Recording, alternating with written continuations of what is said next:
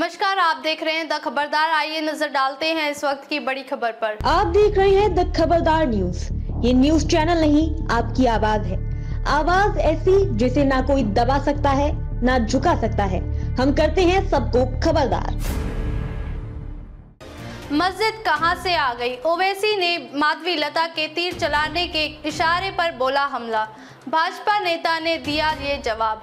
हैदराबाद से भाजपा प्रत्याशी माधवी लता के वीडियो पर एआईएमआईएम प्रमुख ओवैसी भड़क उठे हैं। ओवैसी ने इसे भाजपा की गंदी राजनीति बताया, जिसके बाद अब माधवी लता ने भी पलटवार किया है। माधवी ने कहा कि यह वीडियो आधा अधूरा है और ये सब एआईएमआईएम की भड़काने की राजनीति है, जिसे लोग सच नहीं मानेंगे।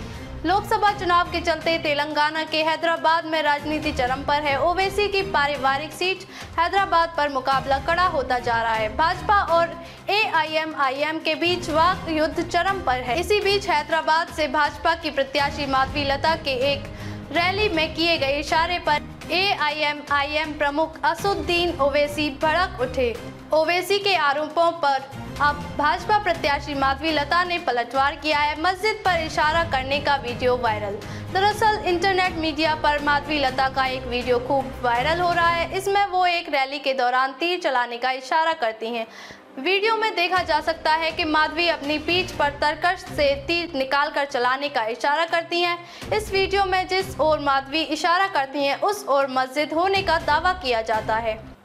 अब तक के लिए बस इतना ही। फिर होगी आपसे मुलाकात। ऐसी ही एक और बड़ी खबर के साथ। तब तक के लिए नमस्कार और देखते रहिए द खबरदार। अगर आपको वीडियो पसंद आई हो तो वीडियो को लाइक करें शेयर करें और हमारे चैनल को सब्सक्राइब करना ना भूलें। अपने सपनों का घर बना रहे हैं। एपी कंस्ट्रक्शन सॉल्यूशंस आपके लिए तैयार है। मज़बूत सिविल इंजीनियरिंग से लेकर आकर्षक वास्तुकला और विशेषज्ञ वास्तु परामर्श तक हम आपके सपने को साकार करते हैं। वास्तुकला, वास्तु और हुनर इतने बढ़िया दिए गए नंबर पर कॉल करें और अपने घर के डिज़ाइन को चमकाएँ। Please visit the mountain café and bakery for fast food near by Suhagi bypass